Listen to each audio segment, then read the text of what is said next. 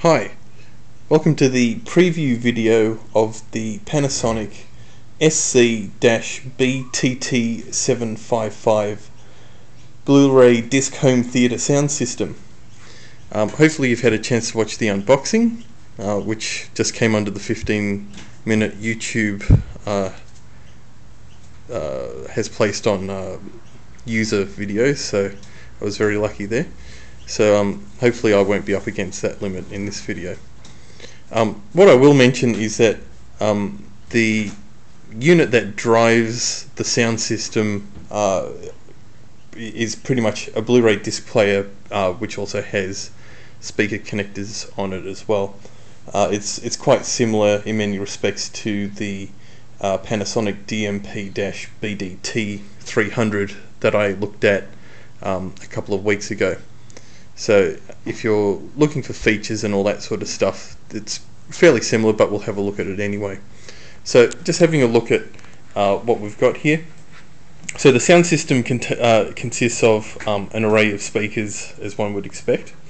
So it consists of a uh, pair of front speakers, left and right, and it's important to note that on the back uh, it does mention that um, they are the front speakers so when you're wiring them up or uh, assembling them I should say um, make sure that you do um, or when you're connecting it up I should say uh, you, you connect the correct speakers to the correct outputs on the back which I'll show you later the uh, other thing you should also note is that um, each speaker has a color coded uh, plug on the end.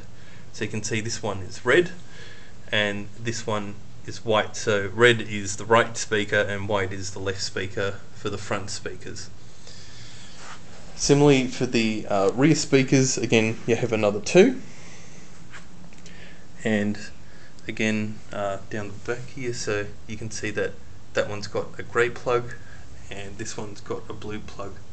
And similarly on the back it will tell you that it is a uh, surround uh, speaker not sure if you can see that there so just take care when you are wiring these up because you hate to wire them up the wrong way uh, of course there's, there's also a center channel speaker up the front which is this friend here uh, which has a green plug uh, and that connects to the head unit. So what we'll do now is we'll just have a look at the uh, unit itself. So this unit does play Blu-ray discs as I've mentioned.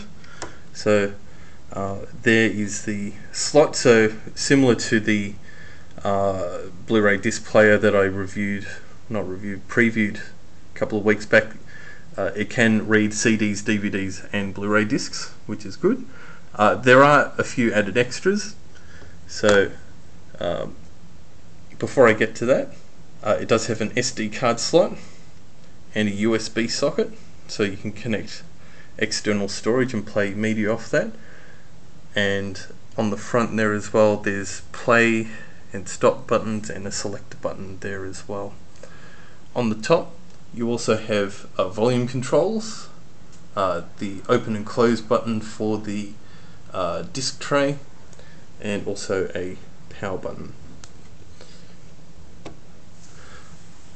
In terms of uh, an added benefit here, uh, you do have uh, an iPod slash iPhone dock connector there. So you can you can whack in your iPod or your iPhone as you would expect and play directly off the device and through the sound system which is pretty fantastic. And of course, with any good sound system, you have a subwoofer. So you can see here it's a pretty big speaker as you'd hope and expect. And again, it comes with a color coded plug on the end there. What we'll do now is we'll just have a look on the back of the unit. So going from left to right, we have the uh, power connector there. And as mentioned, uh, we have all the speaker connectors on the back there. So going from left to right, we have the subwoofer, which is purple. It might come out dark blue on this video.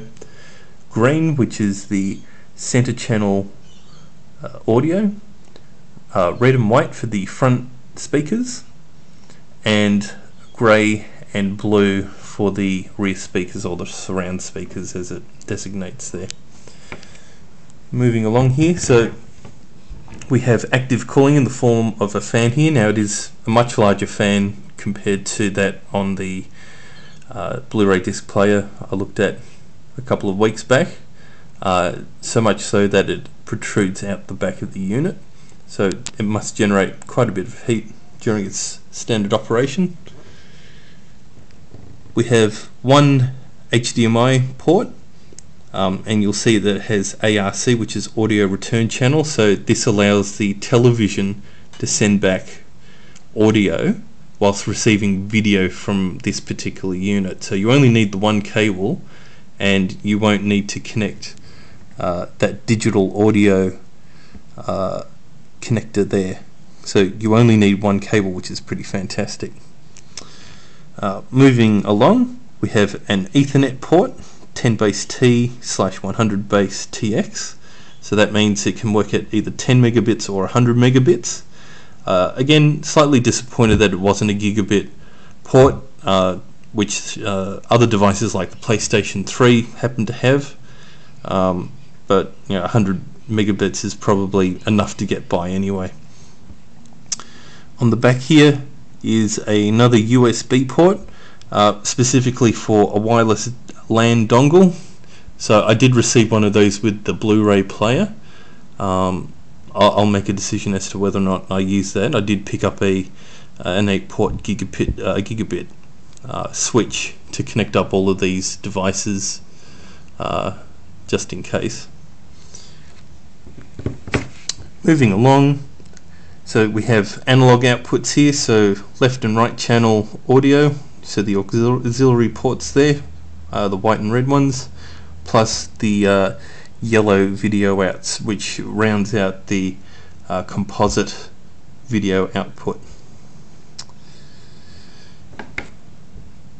Moving along, so now you will also notice here a 75 ohm connector. Now you might be wondering what that is for.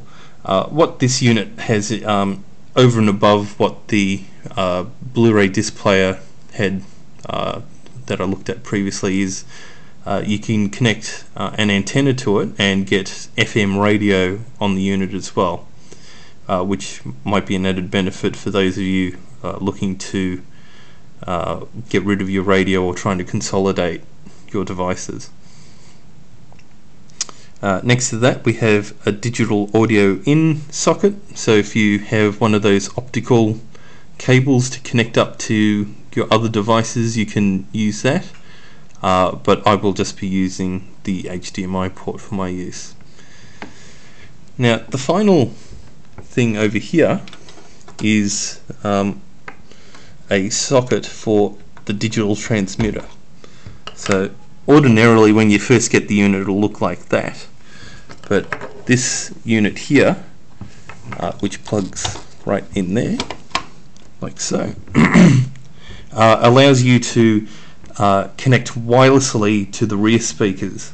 So you won't need to run a really long cable around the room or through your walls or through the roof or however you want to do it or maybe even under the carpet uh, in order to get to your rear speakers. So um, I will definitely be employing this um, as one um, I don't fancy trying to get audio cables through um, concrete walls uh, nor am I so inclined to do so anyway. Uh, now this brings us to the wireless uh, system for the rear speakers. So as you can see it's a fairly small box compared to the uh, the head unit.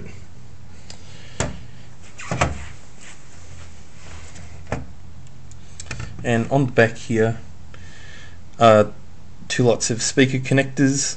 So again they're color coded uh, there's a switch here for surround sound.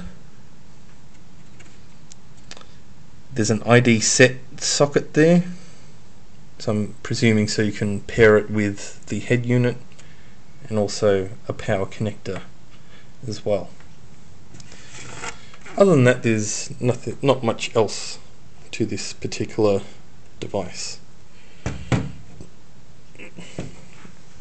So in a nutshell, that's the Panasonic Blu-ray disc home theater sound system SC-BTT755. Uh, as with all of the other devices I've received, um, I will go through a period of review with this. Uh, again, the standard is usually one month, but we'll see how we go. And uh, stay tuned uh, for my review. Thanks for watching.